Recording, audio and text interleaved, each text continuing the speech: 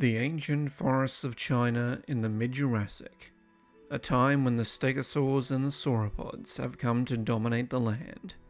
Some have achieved massive sizes like Omeisaurus, an incredible long-necked genus that can reach lengths of 20 meters and weigh 10 tons. But not all are giants, though by today's standards they are still massive.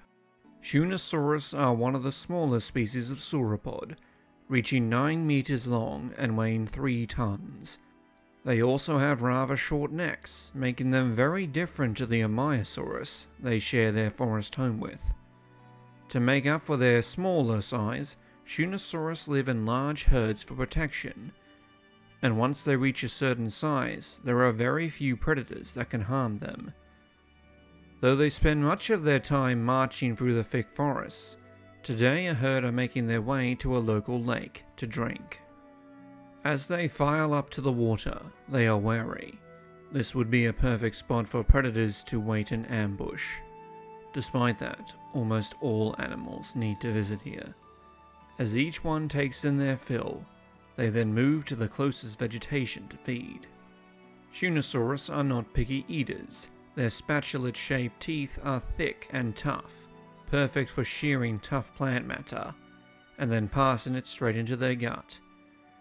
Their skulls are proportionally larger than most sauropods, and they have a wide gape, allowing them to scoff down huge mouthfuls at a time.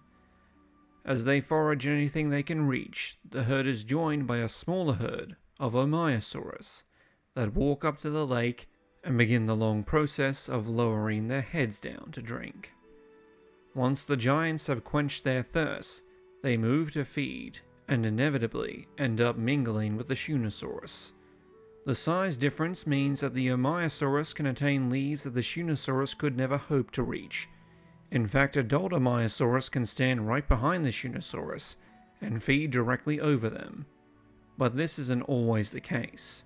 Sometimes the largest sauropods want to get to a particular tree, and if the Shunosaurus are in the way, they better move out of the giant's path, or the Omeisaurus will push them out of the way, or even kick them if necessary.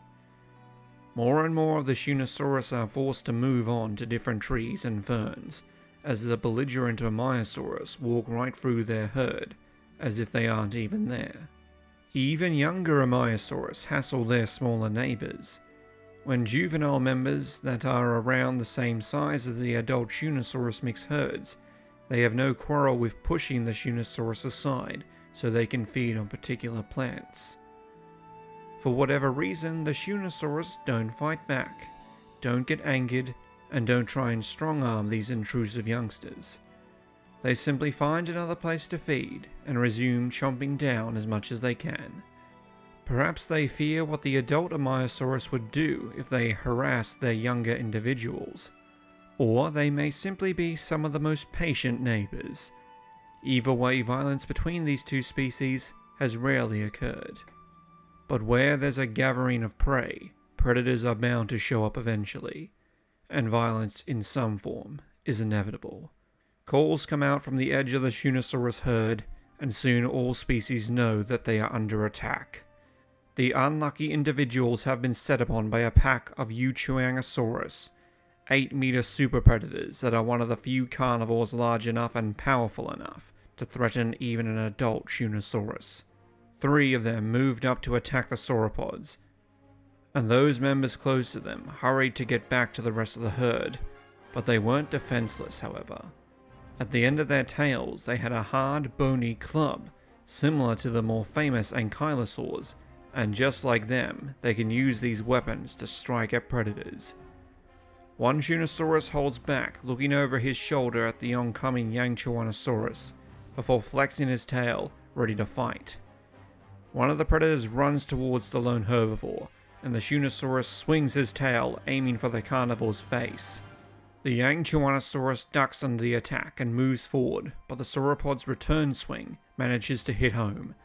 The tail club smacks across the carnivore's upper jaw, and he reels back for a moment. Unfortunately, the second swing wasn't nearly as powerful as the first, and by the time the Shunosaurus swings his tail again, the Yangchuanosaurus has recovered and bites into the herbivore's tail at the base of the club. Both animals growl in anger and pain, and each tries to pull the other, sinking their feet into the sand. The other two Yangchuanosaurus reach the rest of the herd and come face to face with a wall of adults. The predators snap at them, while the herbivores rise up on their back legs and try to stomp down on their attackers, or kick them with their forelegs. One lands too far forward, and a female Yangchuanosaurus seizes the opportunity by grabbing its neck in her jaws. Her teeth puncture its hide, and as the victim shakes its head and neck to break free, it only worsens the wounds. Suddenly, the Shunosaurus herd part aside, and both predators look up and see the massive bulk of a full-grown Omeisaurus walking towards them. The titan rears up on its hind legs, takes two steps forward, and slams down on the ground where the third Yangchuanosaurus was standing moments before.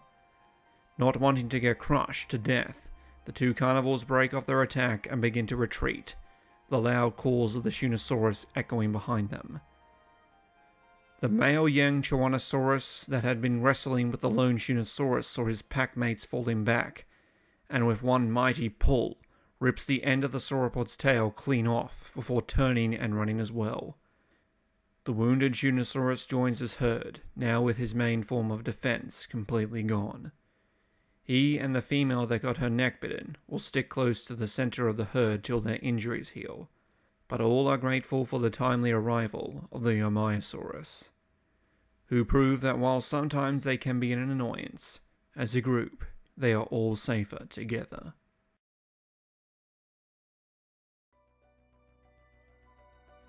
Hello fellow travellers and welcome back. Today we will be breaking down the club-tailed sauropod, Shunosaurus.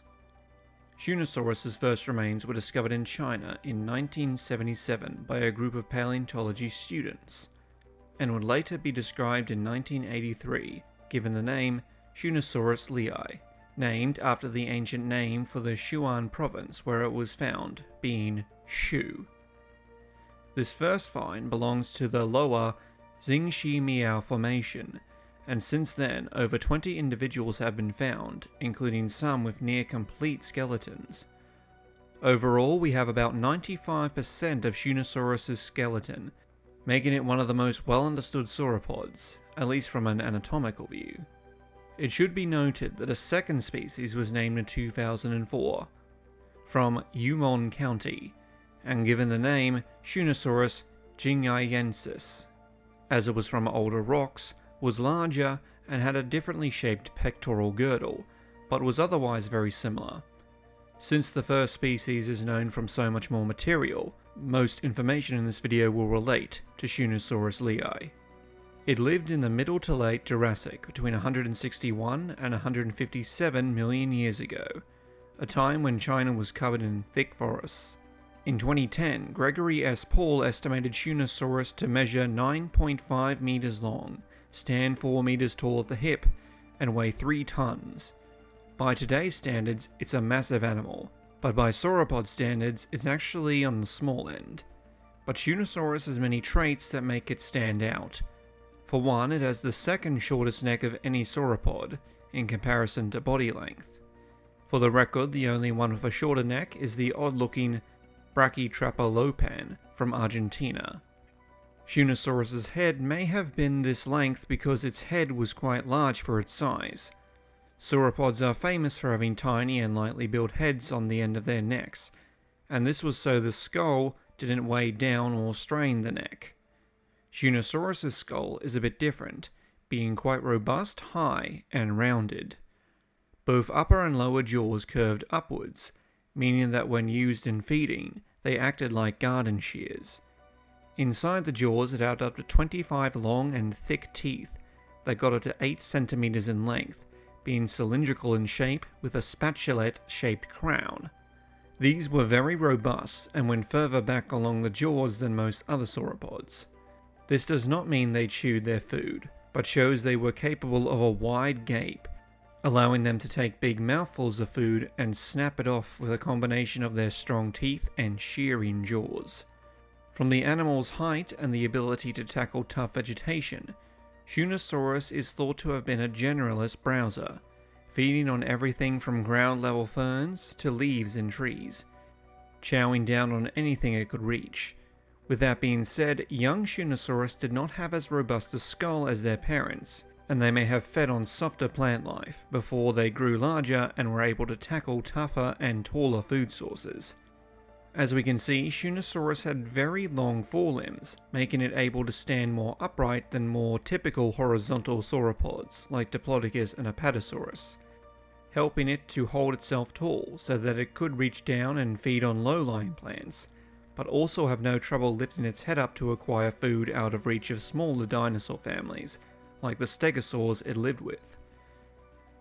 The most well-known part of Shunosaurus' anatomy is its signature tail club, it is easy to compare this structure to those known from the Ankylosaur family, but there are some key differences. Ankylosaur clubs are comprised of osteoderms, which are bones in the body that are connected to the skeleton. Shunosaurus' club is made out of several fused tail vertebrae, along with two osteoderms that grew into 5 centimeter long spikes on top of the club. So you're not only getting blunt force trauma when hit by this thing, you are also getting puncture wounds.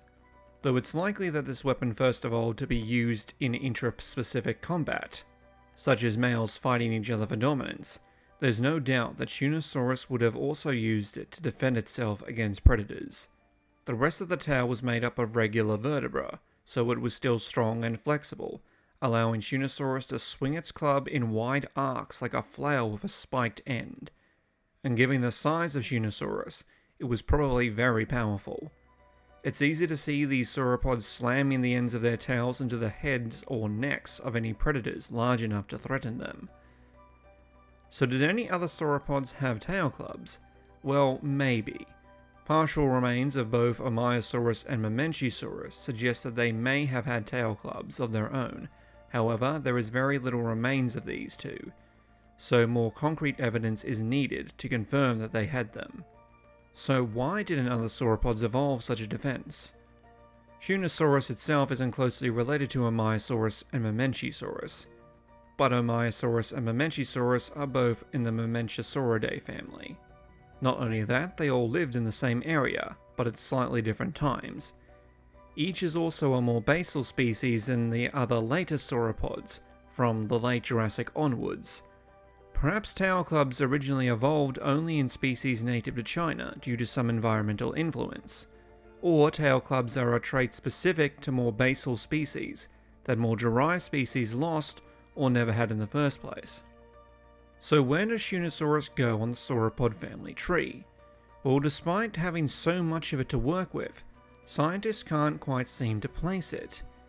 In 2002, Jeffrey Wilson placed it in the Eusauropoda clade at a very basal level, and it's thought that its closest known relative may be Rhoetosaurus from Australia.